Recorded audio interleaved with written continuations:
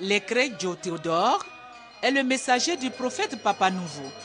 Il a été élevé au rang de messager de Papa Nouveau depuis trois ans.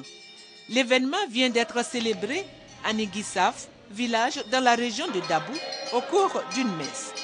Le président du conseil régional du Lot-Dibois, Zakwa Komena, a assisté à cette célébration ainsi que de milliers de fidèles de l'église Papa Nouveau venus de Toukouzou aux Alem, d'Yateke, de Dabou, d'Abidjan.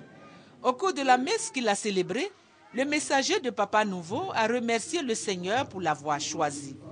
Il a invité le peuple de Dieu à garder la substance de la foi aux enseignements reçus du prophète Papa Nouveau. Paix, prière, travail. La cérémonie s'est déroulée en présence du docteur Albert Pité, fils du village, et de plusieurs hauts cadres de la religion Papa Nouveau. Le président du conseil régional du Lot Djibois a salué la grandeur et l'importance de l'œuvre du prophète Papa Nouveau dans le développement économique, social et spirituel de la Côte d'Ivoire. Il a invité les fidèles à protéger et pérenniser cette œuvre. Cette fête a pris fin à la place des arts du village avec la prestation des groupes Nigisaf Cadence et de Tchotnam de Toukouzou aux Alem.